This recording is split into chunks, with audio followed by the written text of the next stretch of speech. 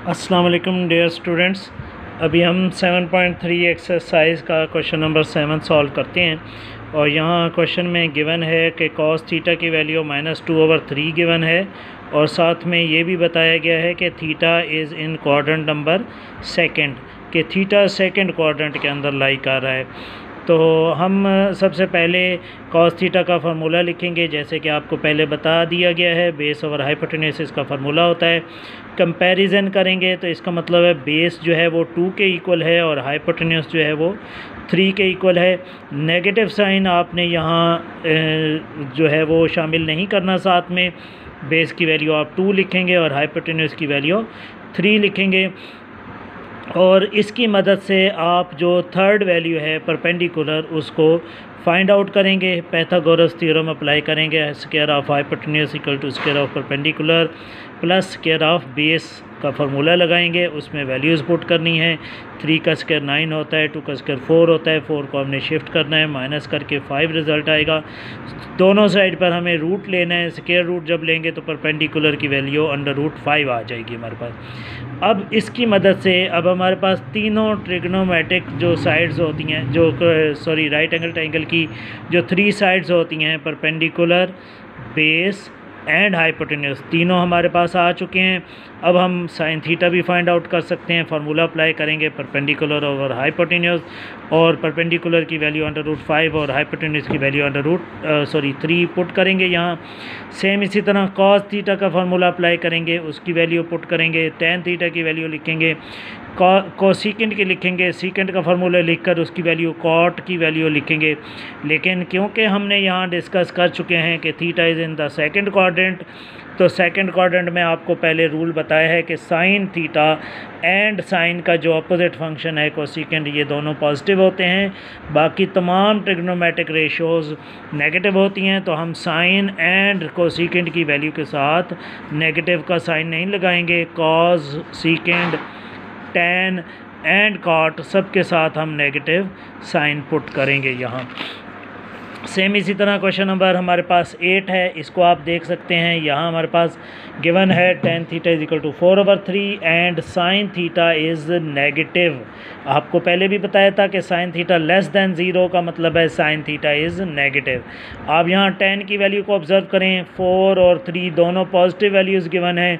और हम अगर इसको ऑब्ज़र्व करके यहाँ पहले हम एक डाटा बनाएँगे। रफ़ स्केच में आप रफ़ वैल्यू लिखेंगे कि टेन थीटा पॉजिटिव वैल्यू है। इसका मतलब पॉजिटिव टेन जो है वो कहाँ कहाँ होता है, आप इस चार्ट को देख सकते हैं। इस चार्ट के मुताबिक आप ऑब्ज़र्व करें तो टेन जो है फ़र्स्ट में भी पॉजिटिव होता है और थर्ड में भी पॉजिटिव होता है।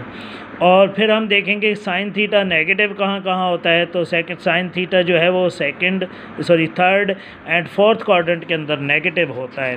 तो हम एक स्केच बनाएँगे, यहाँ लिखेंगे टेन थीटा पॉजिटिव होता है फ़र्स्ट एंड थर्ड में साइन थीटा नेगेटिव होता है फ़र्स्ट थर्ड एंड फोर्थ में। तो इसका मतलब है जो कॉमन एंगल बन रहा है वो क्या है? थर्ड है। तो हम यहाँ पहले डिसाइड ये करेंगे कि theta lies in the third quadrant और उसके बाद फिर हम टेन थीटा का फार्मूला लिखेंगे। टेन थीटा का फार्मूला हमारे पास परपेंडिकुलर ओवर बेस होता है। तो कंपैरिजन करने पर हमें पता चला कि परपेंडिकुलर की वैल्यू फोर एंड बेस की वैल्यू थ्री है। तीसरी वैल्यू हाइपोटेन्यूस की पहले हम फाइंड आउट करेंगे। पैथागोरस थ्योरम अप्लाई करेंगे यहाँ और पैथागोरस थ्योरम के मुताबिक इसको हम सॉल्व करके हाइपोटेन्यूस की वैल्यू फाइव फाइंड आउट करेंगे। यहाँ हमने रूट लिया है दोनों साइड पर, जिसकी वजह से हमारे पास स्केयर कैंसिल हो गया और ट्वेंटी फाइव का रूट फाइव आ गया हमारे पास। फिर हम साइन थीटा का फार्मूला कॉस थीटा का टेन थीटा का cosecant secant and cot theta सारे फ़ंक्शन के फार्मूले लिखकर उनके मुताबिक यहाँ पर पेंडिकुलर बेस और हाइपोटेन्यूस की वैल्यूज़ पुट करते जाएँगे और उनके साथ ये देखेंगे कि, क्योंकि हमने यहाँ डिसाइड किया था थीटा से थर्ड क्वाड्रेंट में है और थर्ड क्वाड्रेंट में टेन एंड टेन का अपोजिट फ़ंक्शन पॉजिटिव होते हैं, बाकी चार फ़ंक्शन नेगेटिव होते हैं तो बाकी चारों के साथ हमने माइनस का साइन पुट करना है और टेन और कॉट के साथ हमने पॉजिटिव साइन ही लिखना है। इसी तरह क्वेश्चन नंबर नाइन है हमारे पास। साइन थीटा की वैल्यू हमारे पास गिवन है one over under root two और साथ में माइनस का साइन भी लगा हुआ है और उसने साथ ये भी लिखा है कि theta is not in the quadrant number third तो यहाँ हम देख रहे हैं कि साइन की वैल्यू हमारे पास नेगेटिव है और साइन की जो वैल्यू नेगेटिव शो हो रही है, हमें पहले ये चार्ट के मुताबिक जो पहले आपको सिखाया जा चुका है, उसके मुताबिक हम ये देखेंगे साइन थीटा नेगेटिव जो है वो थर्ड एंड फोर्थ क्वाड्रेंट के अंदर होता है। तो थर्ड क्वाड्रेंट में तो वो पहले ही डिनाई कर चुका है कि थर्ड क्वाड्रेंट के अंदर थीटा नहीं है। इसका मतलब ये हुआ कि अंडरस्टूड है कि थीटा जो है वो जस्ट फोर्थ क्वाड्रेंट में ही हो सकता है। तो पहला डिसीज़न हम यहाँ लिखेंगे theta lies in the fourth quadrant sine theta का फार्मूला लिखेंगे परपेंडिकुलर ओवर हाइपोटेनियस फार्मूला होता है तो यहाँ परपेंडिकुलर की वैल्यू वन और हाइपोटेनियस की वैल्यू अंडर रूट टू होगी। नेगेटिव साइन को आपने जब वैल्यूज़ लिखनी है तो उस वक्त नहीं लिखना साथ में, क्योंकि नेगेटिव साइन जस्ट क्वाड्रेंट की वजह से होता है यहाँ। तो वैल्यू परपेंडिकुलर की वैल्यू वन और हाइपोटेनियस की वैल्यू अंडर रूट टू है।